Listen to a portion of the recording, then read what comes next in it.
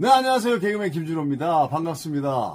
예, 한국 다문화재단 10주년 행사를 진심으로 축하하잖아.